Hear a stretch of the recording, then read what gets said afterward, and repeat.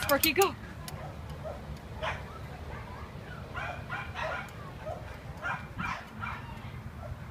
Where'd your friend go, buddy?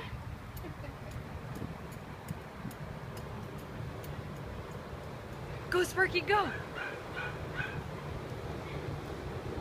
This is Sparky. He's a really happy dog. He seems to really like do other dogs, at least little dogs. That's all that's been next to him. Um, but he seems just like a really good dog. Um, in my opinion, he was clearly somebody's pet prior to being here.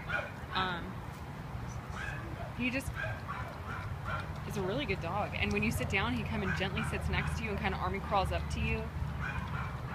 But he's always kind of roaming around looking for someone or something. So I definitely think he feels like his stay here is temporary and he's ready to be on to the next.